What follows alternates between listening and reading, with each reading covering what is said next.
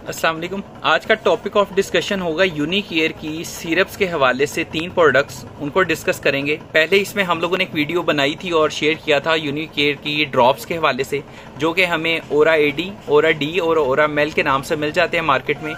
तकरीबन उनकी प्राइस है अप्रॉक्सीमेट फोर हंड्रेड रुपीज़ अभी इनकी बात करें तो ओरा डी ओरा एडी और ओरा मेल हमें मिलते हैं थ्री हंड्रेड के करीब प्राइस के अंदर। और हम यूज़ करते हैं वन ट्वेंटी एम की ये बॉटल को। फॉर बींग किस पर्पज़ के लिए ये शेयर करने वाले हैं? अगर मैं बात करूँ ओरा एडी की ओरा एडी के हमें अंदर दो चीज़ें मिलती हैं।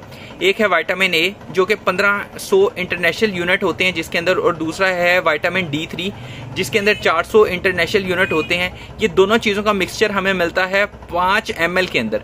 यानी कि अगर एक चाय का स्पून लेंगे, एक टी लेंगे तो उसके अंदर हमें ये दोनों चीज़ें मिलेंगी। इन दोनों चीज़ों की इतनी इतनी मकदार मिलेगी। अगर मैं इन, अब वाइटामिन ए की बात कर लूँ कि वाइटामिन ए है क्या तो वाइटामिन ए को समझ लें कि इसके कुछ फ़ायदे हैं ये बॉडी के लिए, इसलिए ज़रूरी है कि ये हमारी आँखों के विजन को बेहतर करती है, देखने की कुत को बेहतर करती है। इम्यूनिटी हमारी ताकत को बेहतर करती है, उस सिस्टम को अच्छा डेवलप करती है। रिप्रोडक्शन सेल्स की रिप्रोडक्शन हो ऑर्गन्स की रिप्रोडक्शन हो, उसमें ये बॉडी के डिफरेंट पार्ट्स को बनाने में या उसको बिल्ड करने में बेहतरी लाती है।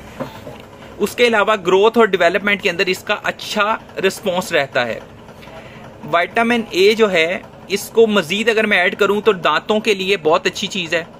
उसके अलावा स्केल्टन बॉडी का जो स्ट्रक्चर होता है, उसको बनाने में इसका बहुत ज़्यादा रोल है। सॉफ्ट टिश्यू बनाने में रोल है।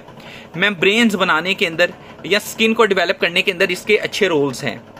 अगर मैं बात करूँ डी थ्री की तो डी थ्री जो सेकंड प्रोडक्ट है इसके अंदर, उसका आसान और बड़ा क्लियर सा जो फ़ंक्शन है, वो ये है कि बॉडी के अंदर कैल्शियम को बड़े अच्छे तरीके से ऑब्जॉर्व करती है ये। अब जो बात कर रहे हैं डी की, उसके अंदर जो मेजरली सबसे इंपॉर्टेंट मैंने दोबारा शेयर कर रहा हूँ कि बॉडी के अंदर कैल्शियम को अच्छे तरीके से ऑब्जॉर्व करने की कुवत रखता है vitamin D three D three की डेफिशिएंसी जो है ना, वो भी ज़्यादातर इंसान को प्रॉब्लम में डाल देती है। कोशिश होनी चाहिए कि बोन्स की ताकत और बोन्स की हेल्थ के लिए वाइटामिन डी थ्री ज़रूरी है। ये क्या करता है कि इम्यूनिटी ये भी स्ट्रॉन्ग करता है ब्रेन को इम्प्रूव करता है, उसकी फंक्शनिंग को इम्प्रूव करता है मूड के अंदर बहुत अच्छी वेरिएशंस लेके आता है। उसके अलावा अगर बात की जाए घुटनों की दर्दें या डिफरेंट टाइप की हड्डियों की दर्दें, उसके अंदर इसके अच्छे रिज़ल्ट हैं।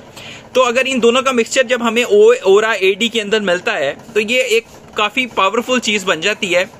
इसको हम यूज़ करते हैं। अगर मैं बात करूँ डी थ्री की तो डी थ्री की ऑलरेडी मैंने फ़ंक्शंस बताए हैं कि ये बोन्स के अंदर कैल्शियम को एब्जॉर्व करने की एक कुत रखता है और काफ़ी अच्छे तरीके से इसको जो है डिजोल्व करके उसको, उससे हमें फ़ायदा देता है। फर्दर अगर मैं मज़ीद बात करूँ इन दोनों के डोजेज की तो डोजेज को समझ लें कि इधर जो इन्होंने मेंशन किया है, वो किया है कि चिल्ड्रन चिल्ड्रन के लिए पाँच एम की डोज होगी, यानी कि एक चाय का चम्मच होगा दिन में एक दफ़ा, और एडल्ट्स के लिए दस एम की डोज होगी, जो कि यानी कि बनता है दो चाय के चम्मच दिन में एक दफ़ा।